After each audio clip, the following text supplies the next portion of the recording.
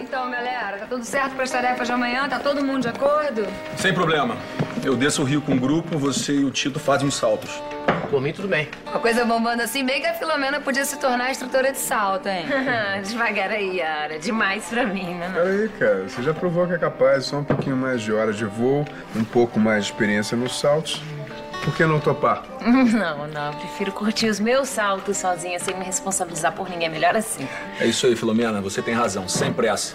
Isso aí, ideia da Yara, querendo um pouco mais de folga. Não, lá, todo mundo aqui sabe que eu não nego fogo. Tá certo. Bom, já que tá tudo decidido, eu vou pro meu quarto, que eu tô cansadaço. Eu acho que eu vou também. É, tá na hora.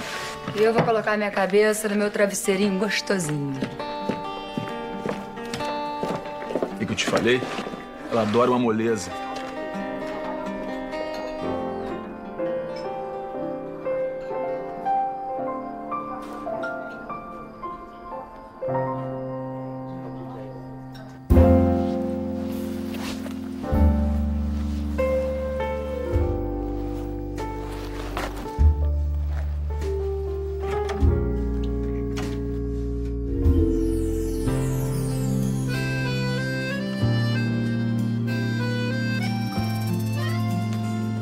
Você não quer saltar com a gente amanhã também, Filomena? Ai, Tito, eu queria dar um tempo dos saltos. Não sei, eu preciso descansar. É muita adrenalina. Não tô acostumada com esse ritmo de vocês, não.